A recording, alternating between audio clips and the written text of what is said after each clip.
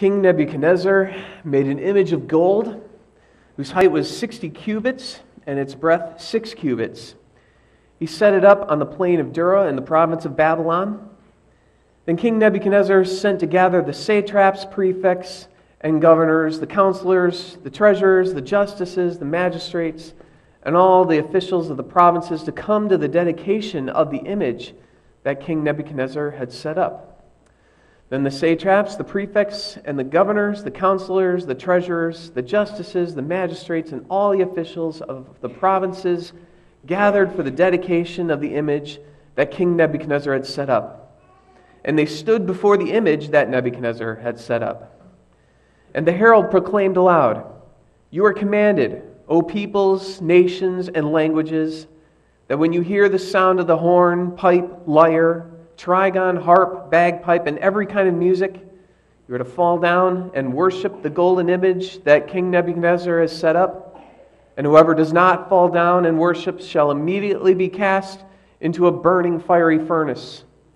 Therefore, as soon as all the peoples heard the sound of the horn, pipe, lyre, trigon, harp, and bagpipe, and every all kind of music, the peoples, nations, and languages fell down and worshiped the golden image that King Nebuchadnezzar had set up.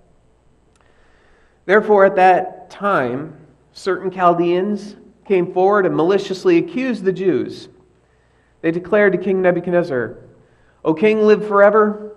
You, O king, have made a decree that every man who hears the sound of the horn, pipe, lyre, trigon, harp, bagpipe, and every kind of music shall fall down and worship the golden image and whoever does not fall down and worship shall be cast into a burning fiery furnace. There are certain Jews whom you have appointed over the affairs of the province of Babylon Shadrach, Meshach, and Abednego. These men, O king, pay no attention to you. They do not serve your gods or worship the golden image that you have set up. Then Nebuchadnezzar, in furious rage, commanded that Shadrach, Meshach, and Abednego be brought. So they brought these men before the king. Nebuchadnezzar answered and said to them, Is it true, O Shadrach, Meshach, and Abednego, that you do not serve my gods or worship the golden image that I have set up? Now, if you are ready, when you hear the sound of the horn, pipe, lyre, trigon, harp, bagpipe, and every kind of music, to fall down and worship the image that I have made, well and good. But if you do not worship, you shall immediately be cast into a burning fiery furnace. And who is the God who will deliver you out of my hands? Stop there for now. Let's uh, look at this verse that is a good one to remember here. Let's say this together.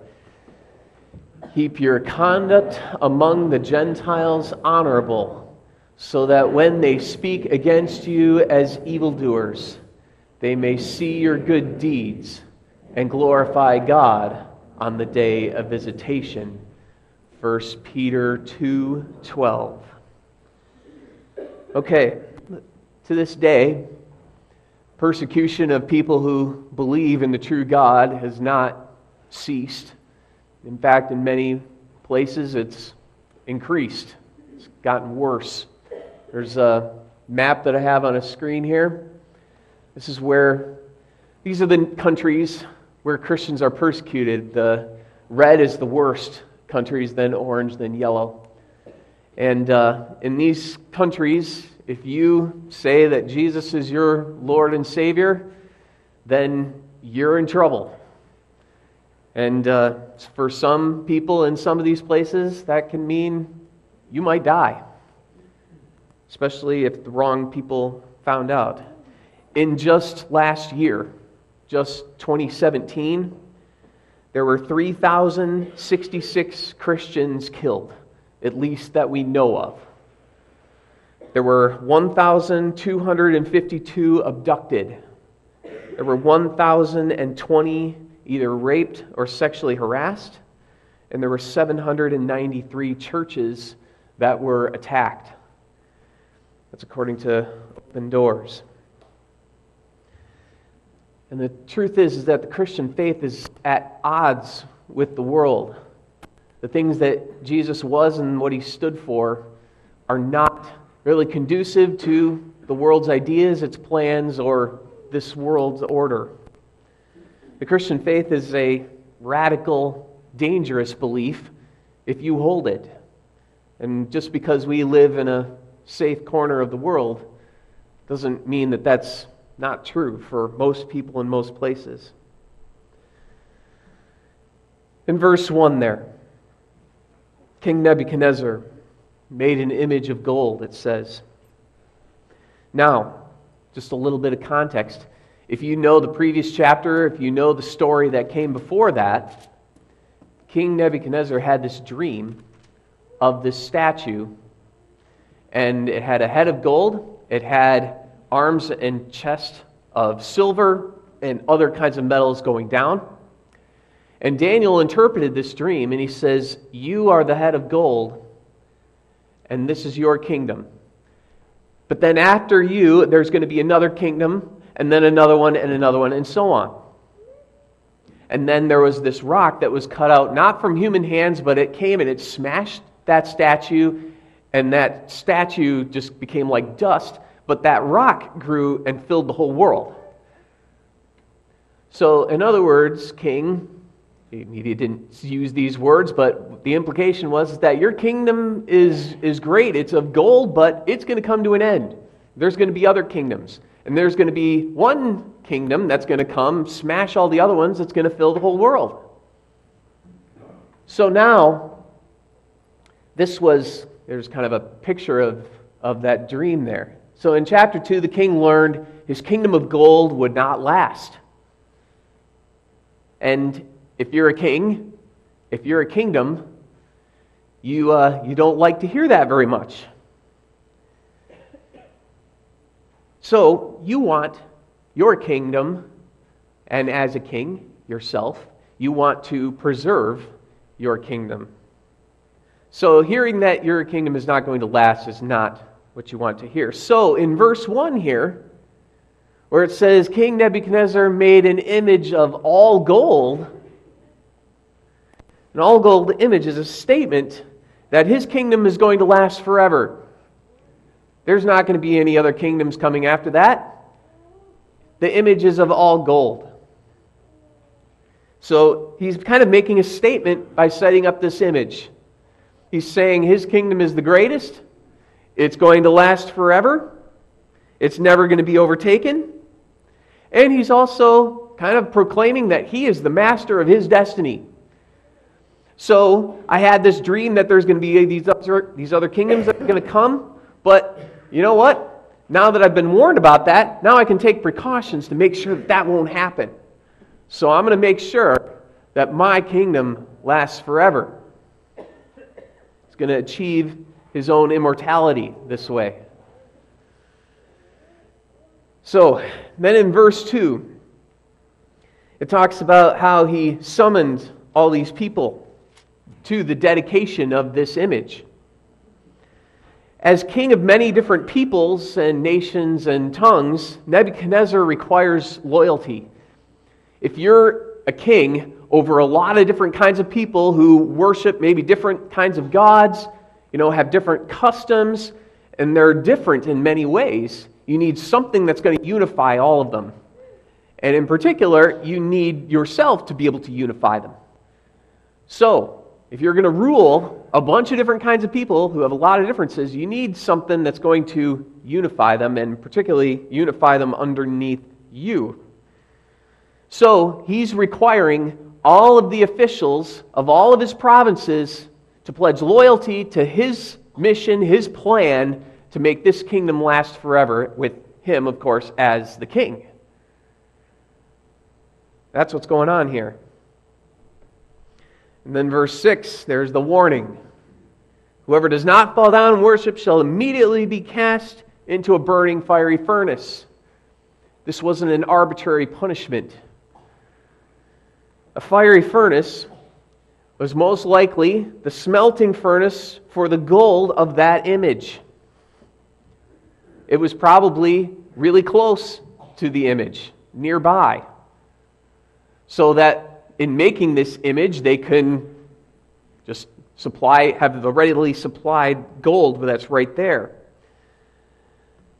And so, verse 6 if you don't worship the image, the implication here is that you are going to be consumed by it. You are going to get thrown into this furnace that goes to make the gold that goes to that image. In other words, you, your body, is going to become part of this image. This image is going to consume you. If you want to go against this image, then you're going to be a part of it. It's going to devour you. One way or another, you are going to serve this image.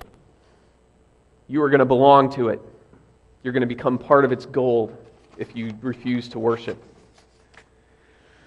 Okay, so we have Shadrach, Meshach, and Abednego.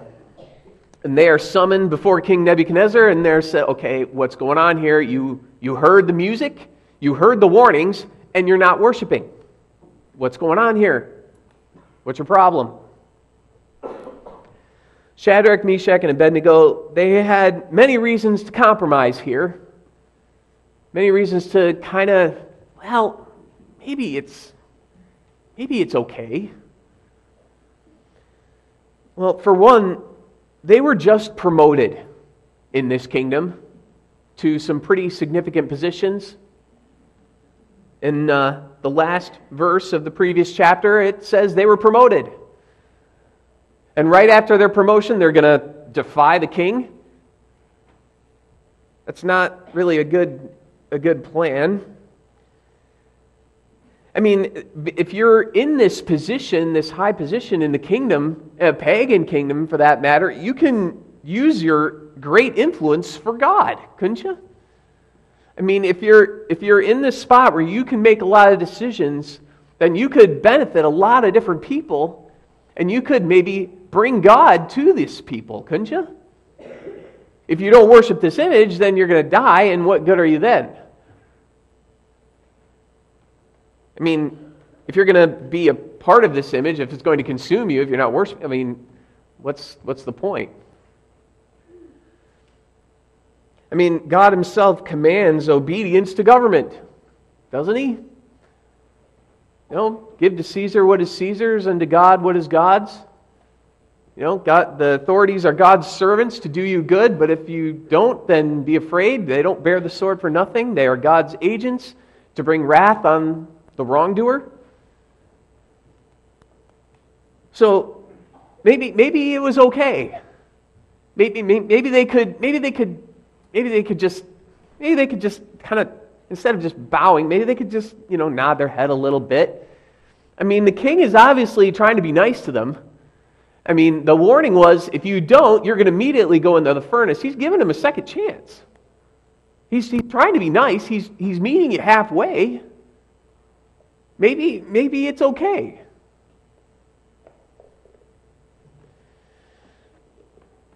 Well, we as believers are exiles in this world. And even though we are not faced with fiery furnaces, as such. We still are faced with many opportunities to compromise in our lives our worship of God. Believers are exiles, and Babylon wants to make us Babylonian. This is what we talked about last time. Living in Babylon, Babylon wants to make us after Babylon. They want to make us their way and they want us to serve their gods. And in our case, that's the gods of feeling good and just getting along. Especially in this country where you have a lot of people who are very different in many ways, and in this time, there's a lot of polarization in politics, especially. There's a lot of people who really don't like each other. We need people to get along. So, getting along at all costs is kind of held as a, a virtue around here at this time. Feeling good and getting along. The world will always be threatened by the true God. The true God is a challenge to this world's order and its desires. It always has been and it always will be. So if you believe the God of Jesus Christ, then you believe things that this world does not like. You believe that there's only one God and only one Lord Jesus Christ. That's not very good for a pluralistic society where there's many different kinds of beliefs. Believing that there's just one God, then that's kind of like saying everybody else is wrong. And who are you to disrupt all of this system that we've created here where we all get along? If you believe that there's an absolute right and wrong, that's offensive. Who are you to say that what somebody else does is wrong? How dare you?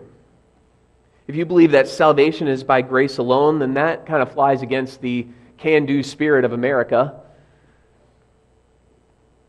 If you believe in original sin, then that really flies in the face of a lot of people. I just read an article this week about how teaching, teaching that to kids is terribly, inherently dangerous for their development. But the truth is, is that all of us, young and old, we need Christ for our salvation. All of us. True believers are faced with compromising all the time in our worship of God in our allegiance to the true God. But true believers would rather die than worship another God. There are certain things that true believers will never compromise on. Not at all. Let's look at what happens here.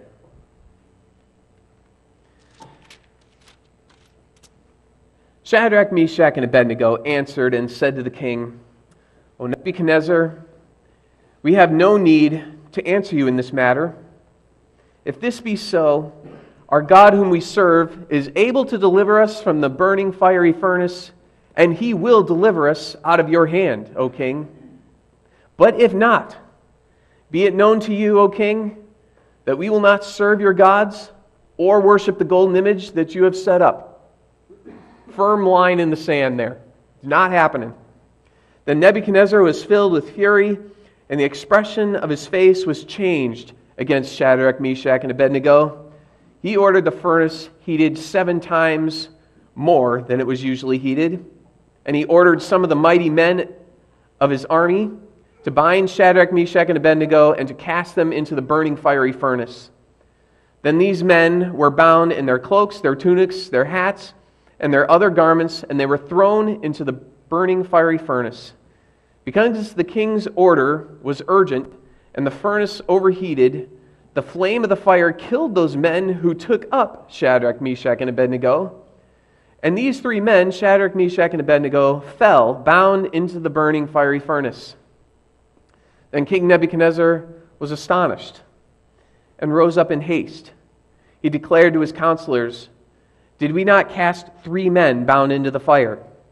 They answered and said to the king, True, O king. He answered and said, But I see four men unbound walking in the midst of the fire, and they are not hurt. And the appearance of the fourth is like a son of the gods. Then Nebuchadnezzar came near to the door of the burning fiery furnace. He declared, Shadrach, Meshach, and Abednego, servants of the Most High God, come out and come here. Then Shadrach, Meshach, and Abednego came out from the fire, and the satraps, the prefects, the governors, and the king's counselors gathered together and saw that the fire had not had any power over the bodies of those men. The hair of their heads was not singed, their cloaks were not harmed, and no smell of fire had come upon them.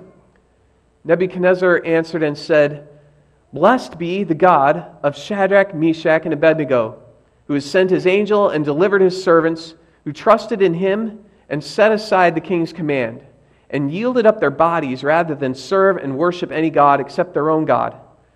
Therefore, I make a decree any people, nation, or language that speaks anything against the God of Shadrach, Meshach, and Abednego shall be torn limb from limb and their houses laid in ruins, for there is no other God who is able to rescue in this way. Then the king promoted Shadrach, Meshach, and Abednego in the province of Babylon.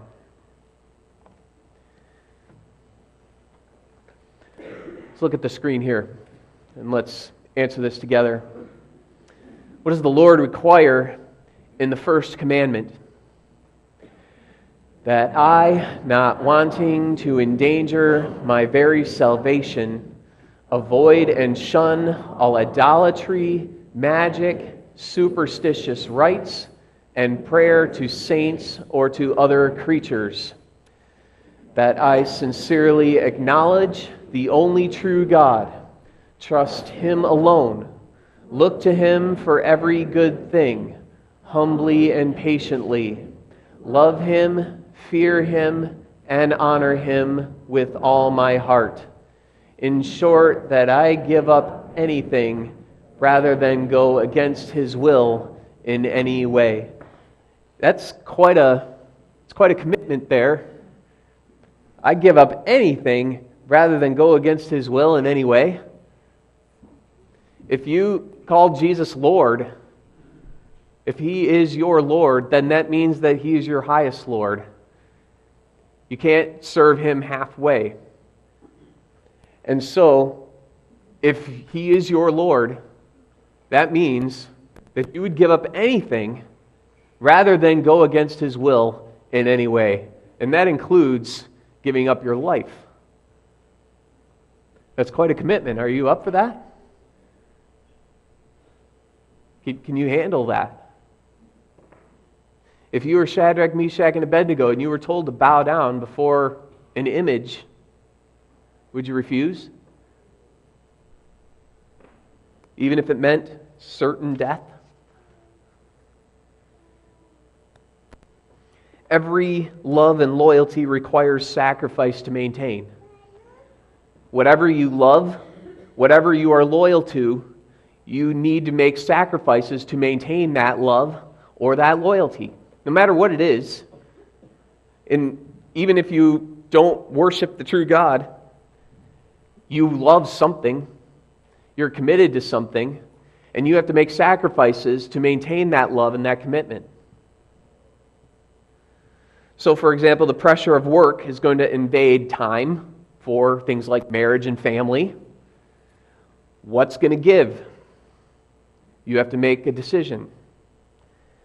Or helping kids with homework is going to come at odds with your hobbies, the things you want to do. What's going to give? You have to make a decision.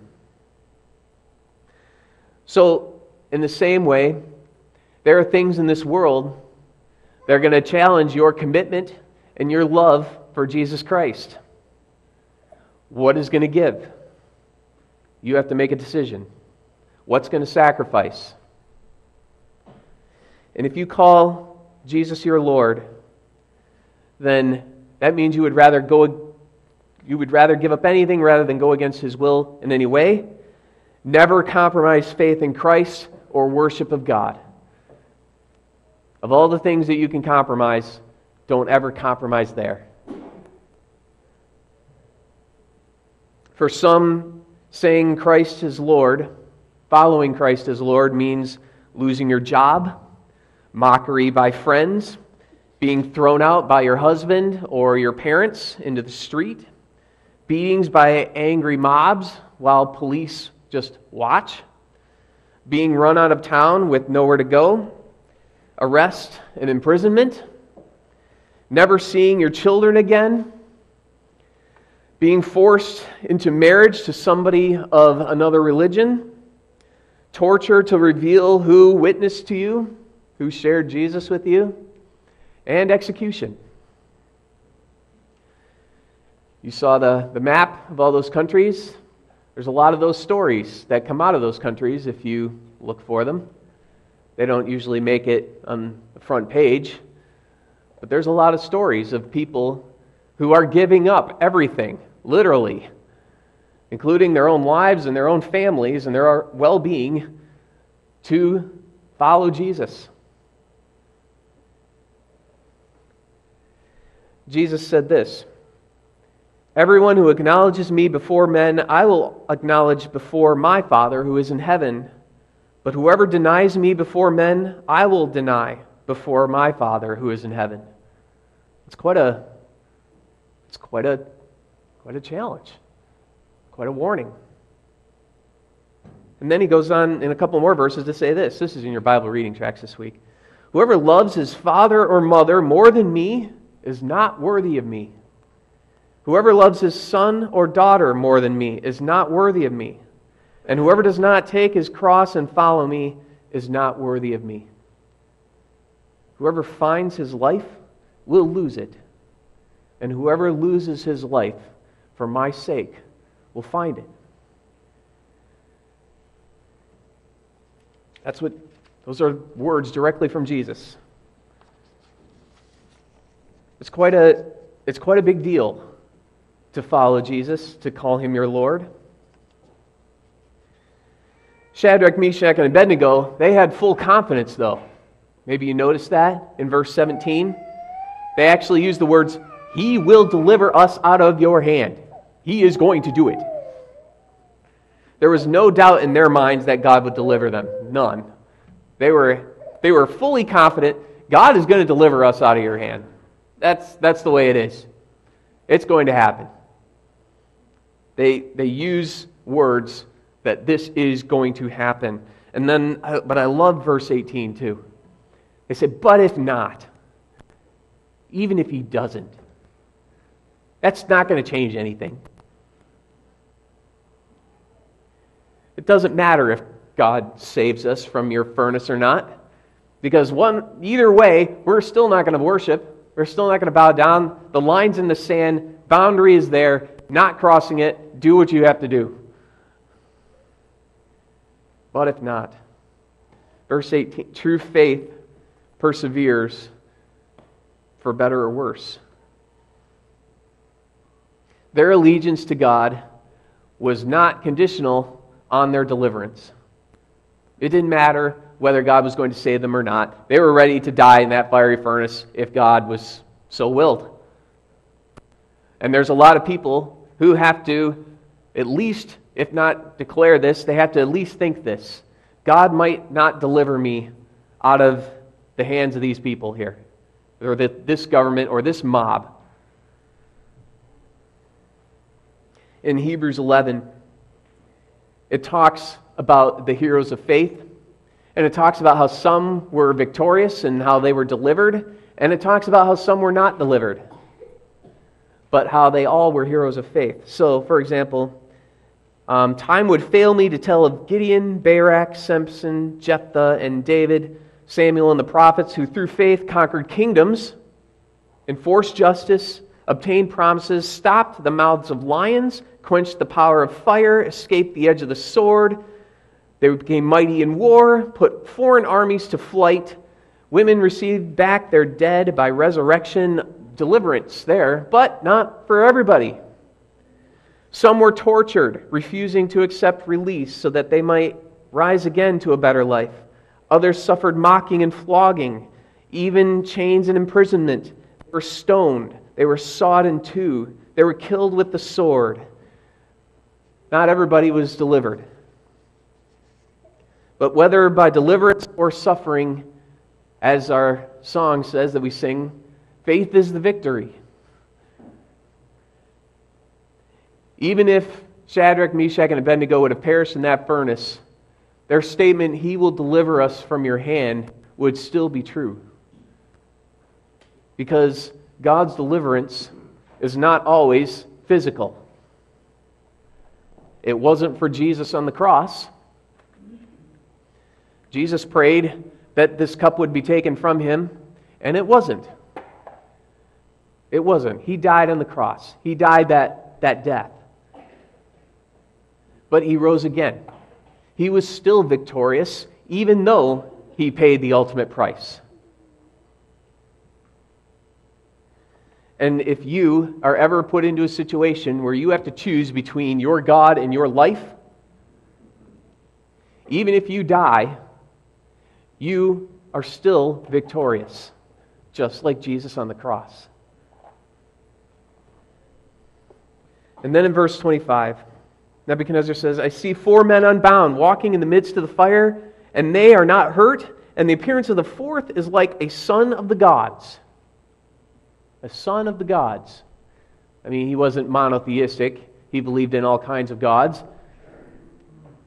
That fourth person, though, we would know today as the pre incarnate Christ. That was Jesus there. they didn't have it, the name Jesus yet, but looking back, that's, that's who it was the son of one of the gods, or the son of the God. It's what you call a Christophany, an appearance of the Son of God before the incarnation of Jesus Christ. Jesus was with them in that fiery furnace.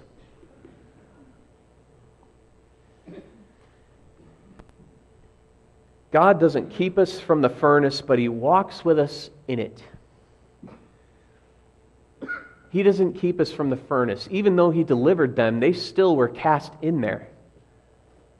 They still had to be bound by the strongest men in the army, and they still had to walk towards this blazing inferno that they were going to get thrown into. They still had to have that anticipation to be helpless and get pushed and pushed and pushed towards this, this fiery furnace. And to think, what's going to happen? Is God going to deliver us? Like we think He will?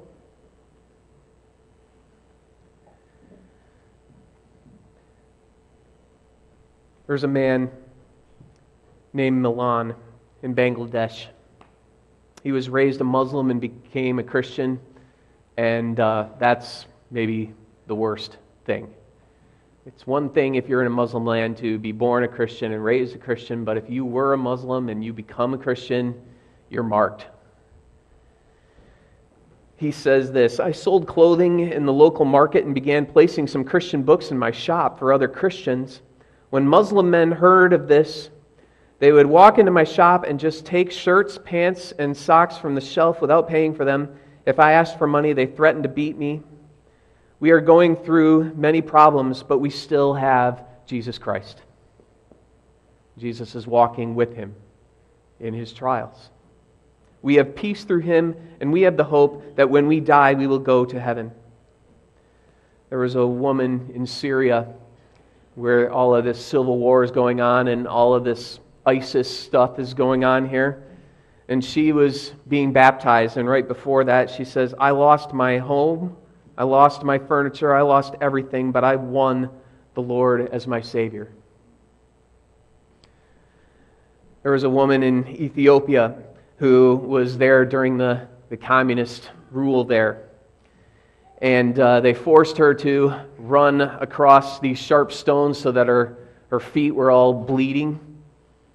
And then they threw her into a prison cell that was so tightly packed that nobody could move, and it was full of human waste. And she was there for a year. And she says this Jesus was there in the midst of the human waste, in the humiliation, in the blood and stench. Jesus was there. So, Shadrach, Meshach, and Abednego, that wasn't just one story that happened one time a long time ago.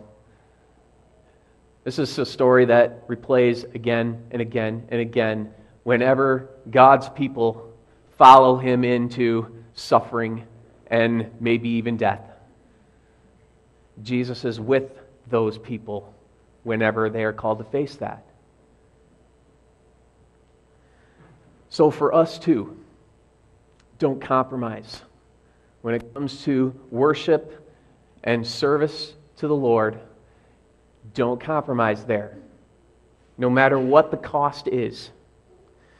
Don't compromise because Christ is inside the furnace, whatever furnace might be in front of you, whatever threat might be there, Christ is there. And He might not keep you from getting thrown into it but He's going to walk with you in it. And whether you perish or whether you come out unscathed, you will have His victory. Let's bow our heads and let's pray. Lord God, our, our Father in heaven, it's amazing what you do to, for your servants who are willing to sacrifice anything because of they love and their, their following of you. Lord, please make us that way. Give us the resolve of Shadrach, Meshach, and Abednego that, that doesn't compromise when it comes to you. We pray that we would have hearts that are willing to give up anything rather than go against your will in any way. Lord, give us that resolve by the power of your Spirit. And when we do have to go through a furnace of some kind, Lord, open our eyes to see that you are there walking with us. In Jesus' name, amen.